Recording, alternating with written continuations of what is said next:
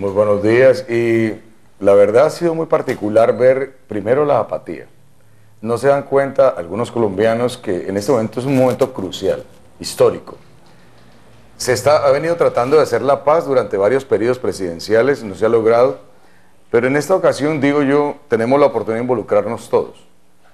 Eh, existen alrededor de más de 5 millones de colombianos registrados por fuera de Colombia y están votando, no llega al 0,001%. Esto muestra que los colombianos no están pensando en que esa Colombia los necesita. El colombiano que está aquí afuera tal vez no se imagina que algún día tenga que regresar o pueda regresar. Y necesitamos cambiar eso. Muchos colombianos salen del país, obviamente, en calidad de refugiados y conocemos varias historias de aquellas que lo que hacen es salir de su país y ni siquiera quieren hablar respecto al tema, que les resulta muy complicado precisamente porque fueron víctimas de estos procesos violentos que se vivieron por los que tienen que buscar asilo en otros países. Y posiblemente eso los lleva a decir, ese es un problema de esa tierra, yo ya estoy en otro lugar. El colombiano definitivamente ha sido un colombiano que desde más de 50 años viene saliendo de su país por muchas razones y sobre todo la violencia. Y ha aprendido a luchar, ha aprendido a abrirse trecho, ha aprendido a abrirse paso, a sacar adelante a su familia. Pero hay algo que nos falta y es que tenemos que aprender a dialogar, a conciliar. Eso nos falta en Colombia y la atención mundial está pendiente de eso. Somos el tercer objetivo en este momento de atención mundial en el proceso de paz. La gente quiere saber cómo lo vamos a lograr. El mundo quiere saber cómo lo vamos a lograr. Y para eso es necesario que nos unamos en ese propósito, sin mirar banderas. Es como en un, barrio. Vamos a pensar en un barrio y en un barrio hay dos familias de diferentes hinchas, hay equipos que no se pueden ni ver pero es su barrio. Y si no se ponen de acuerdo y no salvaguardan, independiente de ideologías, el barrio, van a venir otros y van a hacer con ese barrio lo que quieren. Y a la larga esa termina afectando, a los principales afectados serán nuestros hijos. Ahora, si bien es cierto, el tema de paz es un es un tema complejo y es un tema que se viene dando seguimiento durante varios años.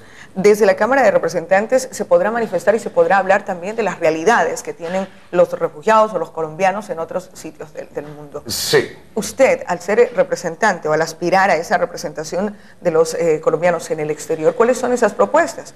Solamente para citar un ejemplo, en el Ecuador hay gran cantidad de colombianos y el Ecuador asume esos gastos que puedan ser desde los temas sociales, salud, educación, de esos colombianos, de esos extranjeros.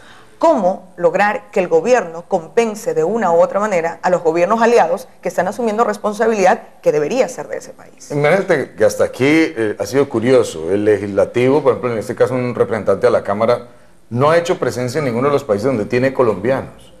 Y ha sido mi interés ahora, en unión con el candidato al Senado, el doctor Jimmy Chamorro, que me parece la persona más preparada en este momento para legislar el proceso de paz por su conocimiento en derechos humanos y Corte Penal Internacional, con él hemos hecho un plan para ir a los gobiernos como representante de gobierno y empezar a conciliar los cómo, los qué y los cuándo con los colombianos que se encuentran allí.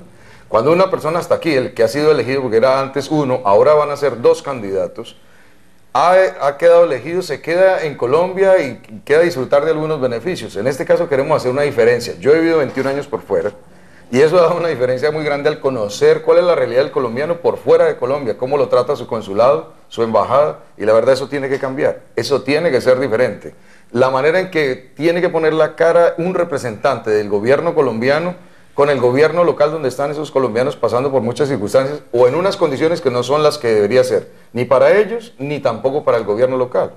Agradecidísimos con los países que tenemos de vecinos como Venezuela, como Ecuador, Perú, Brasil, que nos han dado la oportunidad de llegar hasta allí de una u otra forma, pero es hora de trabajar con esos gobiernos, es hora de conciliar cómo poder hacer una inversión social en ellos empezar a conciliar con el gobierno local las maneras y los métodos para sacar esas familias adelante. Eso no se ha hecho y queremos hacerlo ahora. El partido de la U tal vez no sea el mejor partido, pero está buscando ayuda, está reconociendo que solo no puede, que necesitamos unirnos los colombianos. Y en este momento quisiera hacer la diferencia con el partido de la U porque nos llamó a ser parte. Yo soy un ciudadano común y corriente, vivo 21 años por fuera, pero quiero hacer mi aporte por eso, me la quiero jugar, quiero ver que se haga realidad la paz que tanto quiero, porque el me encanta regresar a Colombia, disfrutar a Colombia sin ningún miedo, sin estar tan prevenido, hasta pensando en oportunidades porque pudiera regresar a Colombia si fuera el caso y encontrarla en otras condiciones para el beneficio de todos los colombianos. Ir aportando, cuéntenos un poco cómo funciona el tema del Senado, la parte que van a elegir, que es diferente al, al del Ecuador para tener mayor conocimiento. Es bicameral, va a una cámara alta que llaman senadores y una cámara baja que se llama representantes a la Cámara. En este momento los colombianos tenemos esa cantidad de colombianos, 5, se cree 7 millones tal vez registrados fuera de Colombia y nos han dado por primera vez la oportunidad de tener dos curules, dos personas que representen a todos esos. Eso significa que conozca la realidad de los colombianos en Ecuador, Venezuela, Suiza, Nicaragua, etc. Y no todos lo hacen. También hay algo por primera vez, histórico, que se va a poder votar entre el 3 y el 9 de marzo. O sea, seis días para votar, considerando que el colombiano no vive cerca, no vive cerca del consulado local, que tiene que pegarse un viaje tal vez de X, Y distancia. Y eso va a dar pie para que sea más participativo, más considerado. Ya se está avanzando un poco, pero todavía hay mucho por hacer y hay que aprovechar. Yo, yo le quiero pedir a los colombianos que por favor no voten en blanco. Usted queriendo castigar al mal político, la verdad es que está castigando también a la sangre nueva que quiere trabajar. Y en este momento el voto en blanco está creciendo, pero sin documentarse. Dos, que no se haga a un lado, que no sea indiferente a este proceso. Es necesario que nos involucremos, que nos documentemos y participemos. Entre todos si es posible. Si así en las condiciones que ha pasado Colombia, ha logrado sacar una selección al Mundial sacar eh, en este momento, por ejemplo, los Juegos Panamericanos, nos llevamos el tope de las medallas de oro. O sea, hay voluntad en la gente, hay voluntad luchadora, pero no hay voluntad para dialogar.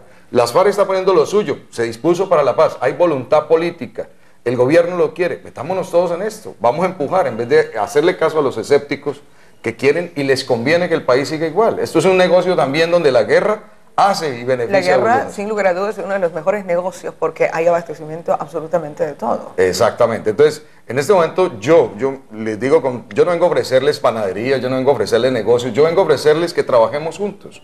Por el partido de la U, el 402, por los colombianos al extranjero, y por el Senado, el número uno, el doctor Jimmy Chamorro, porque en esto somos 10 que nos estamos uniendo por primera vez a trabajar juntos en, en pos de este beneficio. Queremos llegar ocho en, los diferentes departamentos como el Valle, Nariño, ahí hay el partido de la U. Cada uno tenemos un, amigo, un compañero que quiere sumarse en esto, que no tenemos nada que ver con la clase política dirigente en este momento, la actual, sino que queremos meterle a esto la voluntad que hace falta para hacer realidad este proyecto. Interesante. Entonces las elecciones serán en el consulado del 3 al 9 de marzo. Que deben, deben acercarse con algún documento de Claro, con su cédula, si no se inscribió, porque es muy probable, puede ofrecer sus servicios como jurado de votación, testigo electoral, y eso le daría el, derecho a ejercer el voto. En este momento es un beneficio, un servicio a la nación, a la patria, y eso le daría ese derecho. Así que vale la pena intentarlo, jugársela, volver a creer, porque en esto es así. Es, como cuando uno es decepcionado, uno necesita igual darle la oportunidad otra vez al, al corazón. Que se pierde. ¿Hasta cuándo es su agenda en Santo Domingo?